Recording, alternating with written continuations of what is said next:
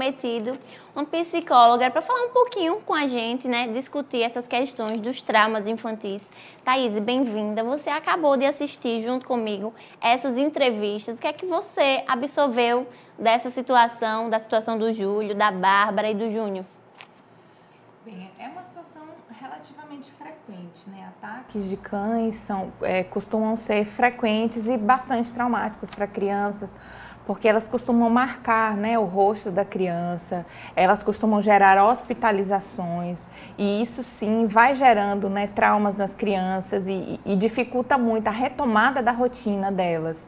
É, vamos tomar o trauma aqui como um evento né, que vai ser excessivamente é, estressor né? E a criança não vai ter condições de elaborar ali aquela situação. A partir disso aí, a gente tem eventos que vão desencadeando traumas. A gente tem a situação estressora e ela vai desencadear traumas. Agora, o que a gente consegue visualizar do trauma é o sintoma, né? E aí são os terrores noturnos, inclusive, são as regressões ela, de inclusive fase. Inclusive, a Bárbara fala muito sobre essa questão, que ele fica muito amedrontado quando chega à noite, porque é o horário que a situação aconteceu. Exatamente. É aí que os pais, a partir dos sintomas, reconhecem né, que existe ali um trauma por trás daquela daquela situação. E aí é, é, importante que nesse momento o acompanhamento psicológico ocorra, porque porque através de, das suas técnicas, né, o psicólogo vai acessar esse conteúdo que está ali, que é o trauma, que não é o sintoma, né?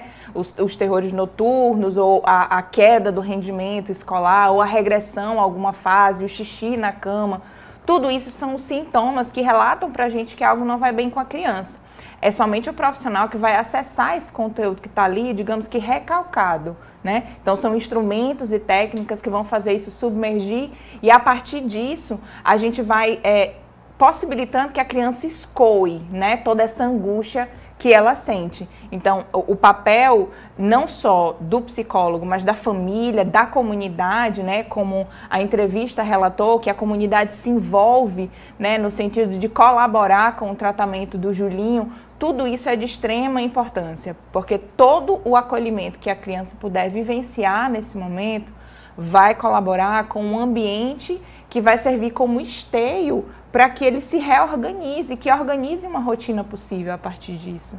É justamente essa pergunta que eu ia fazer, né? Como é que a família, mais de perto a família, claro, a escola, principalmente um garotinho de 4 anos, né? Sim. E a comunidade em si deve auxiliar nesses casos. É, é uma pergunta bastante interessante e eu vou também fazer a indicação aqui de um filme chamado O Quarto de Jack, que a, que a comunidade pode é, assistir para poder entender um pouco como é o trauma, né? O que é o trauma. Porque esse filme ele vai relatar muito a partir da perspectiva da criança. Né? Então, é, nesse filme, a gente tem ali um bebê que nasceu em situação de cativeiro. Sua mãe foi sequestrada e tudo que ele conheceu na vida foi o cativeiro. Ele viveu lá até cinco anos. É, e, e, é somente quando essa criança sai, né, que ela encontra a sua comunidade, que ela vê o mundo, é que ela vai tendo elementos para poder se aperceber né, do que que houve com ele, né, de o quanto essa vida pregressa né, a essa fuga foi uma situação extremamente estressora e traumática. Então, é, a, o filme coloca muito a importância da família, né? A família ela vai oferecer suporte para que a criança elabore, né, todas essas questões. E isso começa no acolhimento. Né? É, a criança está muito próximo dos pais, muito próximo do seu ambiente de conhecimento, do seu ambiente é, é, de conforto, né? E é a partir desse ambiente que a gente vai permitindo que a criança vá retomando gradualmente a sua rotina. Por quê? Porque a rotina organiza, né? Obviamente, uma criança que, que sai, sai de uma situação de cativeiro, que sai de uma situação de ataque de cães, não é uma criança que está de pronto apta para voltar às suas atividades escolares, né? Principalmente porque isso marca de maneira muito violenta a vida da criança, né? É, é algo que fica marcado, inclusive, no seu rostinho. Então, é, à medida em que a criança vai retornando paulatinamente, né, a comunidade vai fazendo esse acolhimento. E isso vai sendo é, ordenado, isso vai sendo organizado entre esse apoio psicológico, né, entre esse psicólogo e a sua família. O psicólogo vai orientando a família, né, a partir dos conteúdos que nas sessões a criança vem trazendo. Né? São conteúdos que são, estão envoltos ali com várias camadas protetivas né, desse trauma e também com suas fantasias, né, com a maneira como a criança consegue organizar o seu mundo. Então, é, voltar à escola e ter os seus coleguinhas ali, né, prontos para acolhê-lo, prontos para poder dividir o lanche, é, para que essa família também seja capaz de aos poucos ir retomando com a criança a sua rotina, né? Os horários de acordar, de tomar o café da manhã, todo mundo ali junto, para que a criança consiga elaborar e fazer uma, um direcionamento, né, para a sua vida depois desse fato traumático. Então, a rotina, é, a retomada dos espaços da criança, é, sendo feita de maneira acolhedora e de maneira bem organizada, eu acho que isso colabora e mostra para a gente, inclusive, que as, que as crianças elas têm sim um potencial muito grande de se reajustar se elas encontrarem um ambiente ali propício é, para auxiliá-la né, nessa retomada de vida. Thaís, e a Bárbara falou durante a entrevista sobre essa questão do medo que o Júlio tem, principalmente à noite e também no retorno para casa, acho que nos piores momentos, inclusive, que a todo momento ele estava se perguntando: cadê o cachorro? O que é que aconteceu com o cachorro? De que maneira é que os pais, como é que os pais devem lidar com esse tipo de pergunta no momento da retomada para essa situação? Porque, de, de certa maneira, a gente sabe que o cachorro, ele só fez essa, essa, é, essa situação, só chegou até acontecer. Na verdade, não é o cachorro em si, mas tudo faz parte de uma rotina, da educação, de tudo que o cachorro recebe. Então, como é que os pais devem lidar, com, nesse caso com o Júlio, por exemplo, para que ele não cresça uma criança com, com medo, não, não digo nem tanto medo, mas assim, com um certo receio, até mesmo raiva dos animais, mas de perto dos cachorros. Sim. Então, é, é a partir de, da fase em que a criança está, né? A gente vai dizer a verdade para ele, né? Sempre a verdade. E uma verdade que ele consegue compreender. Então, se ele pergunta, mãe, o que é que houve comigo? Né, a gente vai dizer que houve uma, uma mordida, um ataque, né, né, isso, e que esse cão nesse momento ele está guardado, ele está em outro local. Ou seja, nunca né? mentir, nunca fantasiar. Exatamente, porque a criança ela já tem as suas próprias fantasias e ela vai usar essas fantasias para poder dar conta desse traumático, desse estranho, né? Então, quando a gente é, põe a criança diante é, dessa recusa, né, de que houve algo, não, foi uma bobagem, não, isso não vai mais acontecer não, é, é, não houve nada, não, logo você vai ficar bom.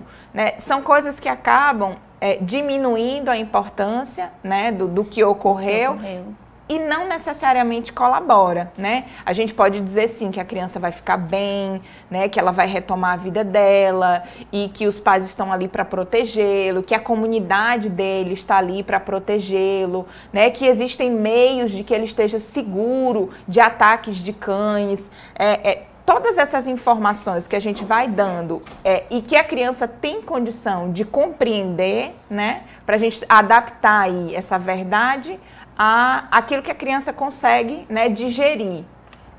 É, é sempre a melhor via, né? A informação, mesmo para crianças muito pequenas. Em relação ao tratamento, né, o, o, acompanhamento que as crianças devem fazer, principalmente com o psicólogo. É, existe um tempo para que isso aconteça, ou vai de caso para caso, ou meio que é um atendimento contínuo? Como é que é isso? É, na psicologia, a gente costuma é, utilizar sempre o um a um, né? Cada pessoa, cada indivíduo vai responder de uma maneira diferente àquilo que lhe ocorre. Então, a gente não pode garantir que em seis meses, né, essa criança vai estar bem ou que essa criança vai passar é, cinco anos fazendo terapia. A gente não consegue prever esse tipo de coisa, mas a experiência vai dizer que a criança precisa de tempo, né? E, e o seu tempo é, não é um tempo que ocorre no nosso relógio. É um tempo que ocorre na lógica interna da criança. Então a gente precisa respeitar esse tempo, precisa respeitar as perguntas que a criança faz, porque ela vai fazendo perguntas, né? Do nada, às vezes ele ele está assistindo Relembra, TV, é. exatamente, ele faz uma pergunta. Então é importante estar pronto para essas perguntas. É por isso que a família tem que estar né, nessa, nesse constante bate-papo né, com esse profissional que acompanha a criança, para poder saber o que dizer, o que, que a criança é capaz de ouvir, o que, que ela, como é que ela está interpretando né, a sua nova rotina, as coisas que marcaram, como é que ela está dando sentido ali à sua, ao seu novo dia a dia.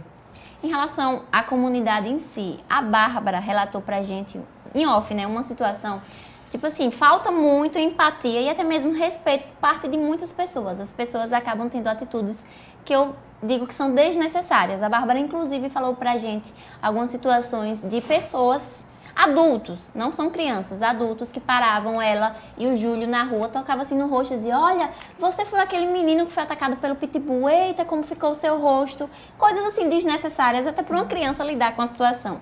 E a Bárbara falou justamente que nesses momentos o Júlio voltava a relembrar tudo e ficava totalmente triste. Então é preciso que as pessoas saibam também o que falar né, nesses momentos. Sim, sim. É, é, a gente costuma dizer que o olhar do outro pode ser devastador. Isso. Né? É, é a partir desse olhar é, que a criança se inscreve numa determinada posição em relação à sociedade e ele tem uma compreensão daquilo que aconteceu com ele.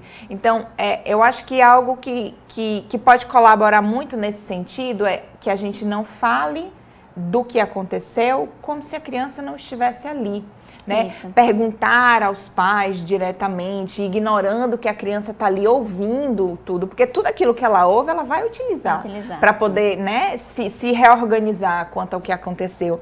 Então, o ideal é que se cumprimente a criança, né, que não se ignore. Você pode perguntar como você tá, Julinho, eu espero que você se recupere, que fique bem logo, mas evitar uma conversa muito extensa, perguntas muito invasivas, principalmente diretamente para o Julinho, né, para a criança. É legal que, que a, as pessoas que querem saber conversem com a família no momento em que o Julinho não esteja, porque isso não, de fato não colabora para que ele se reorganize. Verdade. Mais alguma informação sobre esse caso que você queira passar? Thaís, quase minha charava. Thaís e Thaís. Deu certo a dupla aqui. Sim, sim. Mais alguma informação? Então, eu acho que é só reiterar mesmo tudo isso que, que eu acabei de falar, né? É, que um trauma é algo que o profissional acessa. E ele acessa por via de técnicas. Aquilo que a gente vê né, ali e que nos gera uma queixa, que nos gera uma ida ao psicólogo, são os sintomas. Então, a, a gente não consegue sozinho lidar com aquilo. É necessário um apoio profissional e esse apoio profissional vai orientar a família e vai orientar a comunidade também a respeito de como receber o Julinho e de como é, é, ser o esteio, né? para que ele faça a sua nova rotina. Eu estimo melhoras à família e espero estar aqui mais vezes com vocês. Por falar em apoio profissional, né? A Thaís está chegando em Itabaiana, ela já está fazendo seus atendimentos aqui como grande psicóloga. Fala pra gente onde é que você atende, como é que a gente faz se quiser marcar uma consulta, uma sessãozinha com você, bater um papo. Fala pra gente, para quem está assistindo nosso programa. Então, eu estou disponível né, no, no Centro Médico Souza Andrade. Souza Andrade. É, e através do, do telefone Inclusive, também. Inclusive, está no GC, no GC, a gente já colocou para vocês A comunidade pode entrar em contato comigo. É isso aí. Mais alguma informação, Thaís? Não. Eu agradeço sua vinda, disponibilidade. As portas estarão sempre abertas aqui da TV Itinet, principalmente do Itinet Notícias Primeira Edição, para que a gente possa bater uns papos bacanas muito informativos para a população sobre determinados temas. Né? Eu acho que a gente começou bem com um tema que envolveu, de certa maneira, bastante toda a população de Itabaiana. Seja bem-vindo sempre. Obrigada e eu fico à disposição. Daqui a pouquinho, essa entrevista completa da Thaís também vai estar disponível no portal Itnet, assim como a entrevista com a Bárbara e o Júnior, os pais do Julinho. Eu